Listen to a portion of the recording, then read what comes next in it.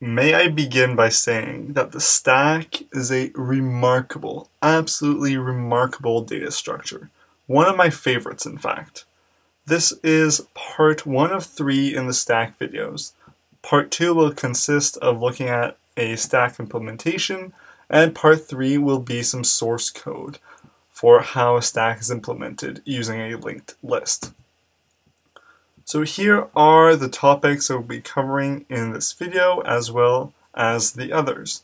First, we will answer the question about what is a stack and where is it used. Then we will see some really, really cool examples of how to solve problems using stacks. Afterwards, we will briefly look at how stacks are implemented internally and the time complexity associated with the stacks operation and lastly, of course, some source code. Moving on to the discussion about stacks.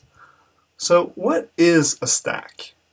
A stack is a one-ended linear data structure which models a real-world stack by having two primary operations, namely push and pop. Below you can see an image of a stack I have constructed. There is one data member getting popped off the top of the stack and another data member getting added to the stack. Notice that there is a top pointer pointing to the, to the block at the top of the stack.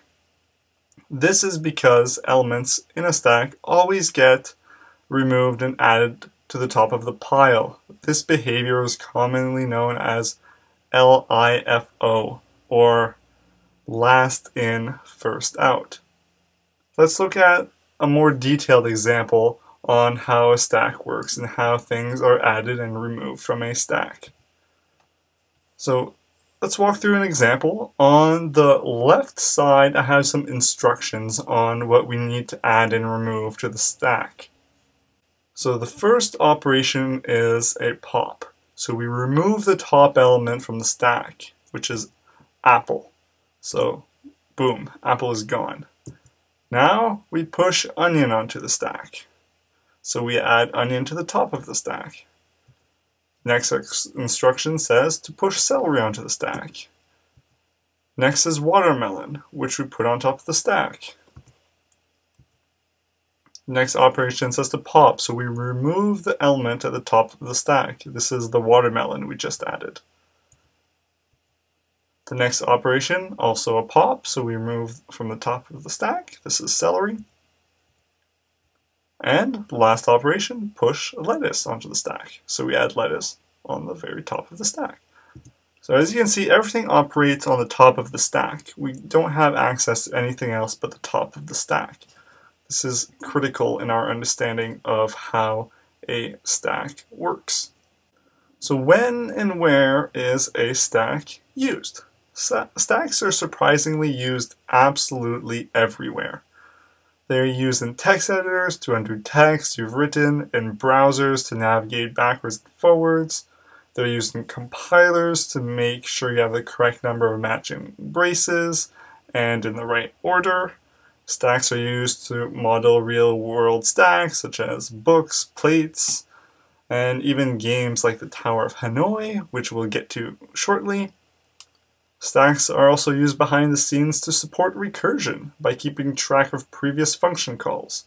When a function returns, it pops the current stack frame off the stack and rewinds to the next function that is on the stack. It's rather remarkable that we use stacks all the time in programming and never even notice it.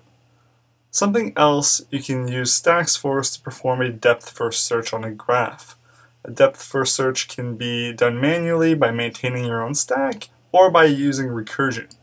Well, guess what? Both use stacks, as we have just discussed. Complexity analysis. So, the following complexity table assumes that you implemented a stack using a linked list. Pushing takes constant time because we have a reference to the top of the stack at all times. Well, the same argument goes for popping and peeking. Searching, however, still takes linear time. The element we're searching for isn't necessarily at the top of the stack, so we may need to scan all the elements in the stack. hence requiring linear amount of work. Now here's a cool example of a problem using stacks. Problem. So given a string made up of the following brackets, round brackets, square brackets, curly brackets, determine whether the brackets properly match. So analyze the examples below to understand what type of bracket sequence is valid and which ones are invalid. So before I show you the solution, try and come up with a solution yourself. Hint, use a stack. Okay, in this first example, consider the following bracket sequence. As we are processing the string from left to right, I will be displaying the current bracket and the associated reversed bracket. So let's begin. For every left bracket we encounter, we simply push those on the stack. So this is a left square bracket that I've highlighted in light blue, so we push this one on the stack. Same goes for the next left square bracket and for this left curly bracket.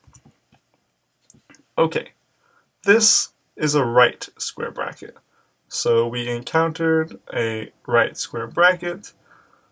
So we need to do two checks.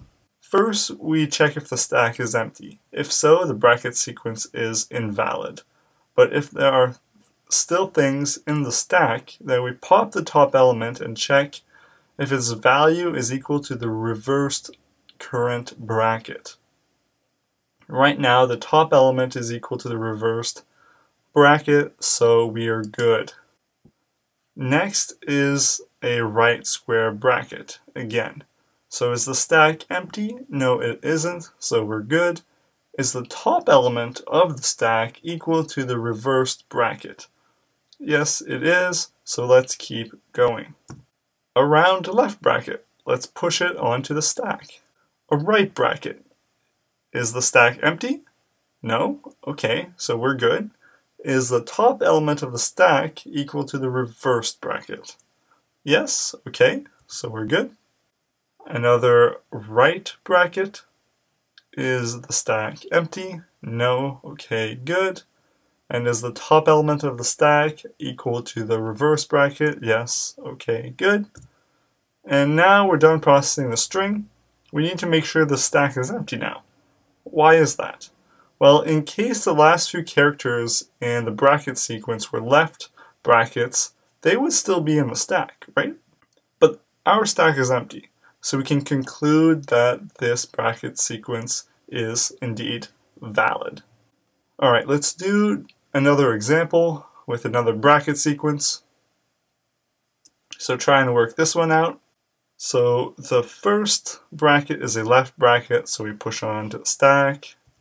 The second bracket is also a left bracket, so we push on to the stack. This next bracket is a right bracket, so let's check if the stack is empty. No. It's good. And is the top element of the stack equal to the reverse bracket? Yes, it is. This next bracket is a right bracket. Is the stack empty? No, so we're good. And is the reverse bracket equal to the bracket at the top of the stack? No, it isn't. So this bracket sequence is invalid. So here's the pseudocode of the algorithm we just ran through. So if we let S be a stack, then for every bracket in our bracket string, we can get the reversed bracket for that current bracket easily. So if our bracket is a left bracket, push it onto the stack. Otherwise, we check if the stack is empty and if the element at the top of the stack is not equal to the reversed, if either of those conditions are true, then we return false, otherwise we return whether the stack is empty or not. And if it is empty, then we have a valid bracket sequence, otherwise we do not. I want to take a moment and look at the Tower of Hanoi, a very popular game amongst mathematicians and computer scientists, to see how it relates with stacks. The game is played as follows. You start with a pile of disks on the first peg on the left, And the objective of the game is to move all the discs to the rightmost disk pile. At each move, you can move the top disk of any pile to any other pile with a restriction that no disk be placed on top of a smaller disk. So we can think of each peg as a stack because we're always moving the top element in a peg and placing it on another peg. So shall we play? I will let the animation run and you will see how each peg acts like a stack. It's pretty cool.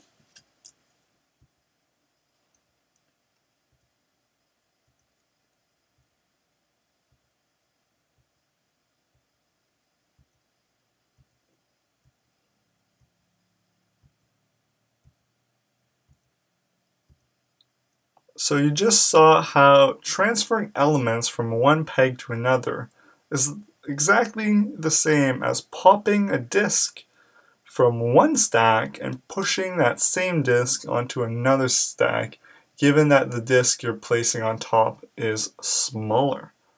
So that's really cool. Alright, in the next video, we're going to quickly look at how a stack is actually implemented. If you're interested in some actual source code for a stack, that can be found at the link at the bottom of this slide. I will also be going over the source code for a stack in the last video of the stack series, so stay tuned for that, and thank you so much for watching.